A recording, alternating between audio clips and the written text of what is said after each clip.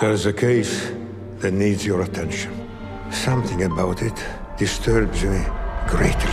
It's very hard to make original exorcism based material. It's such a well traversed space, so to find a new way into it vis a vis the Vatican. Our sins will seek us out.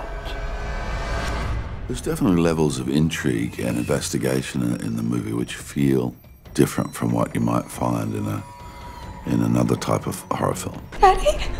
You're all going to die. this is the cloth of the Lord. Release this child and flee from the light of God.